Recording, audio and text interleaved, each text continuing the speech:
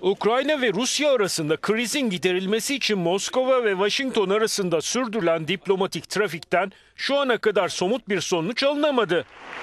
Ukrayna Başbakanı Arseniy Yatsenyuk'un çarşamba günü Beyaz Saray'da Başkan Barack Obama ile yapacağı görüşmeden önce Amerikan ve Rusya Dışişleri Bakanlarının telefon görüşmesinden yine bir sonuç çıkmadı. Um, Bakanımız John Kerry bu hafta Rus Bakan Lavrov ile görüşme arzusunu yineledi. Ancak bu görüşme için uygun bir ortam olmalı. Hedef Ukrayna'nın egemenliği ve dokunulmazlığının korunması olmalı. Uh, Ama aldığımız yanıtta biz bunu göremedik.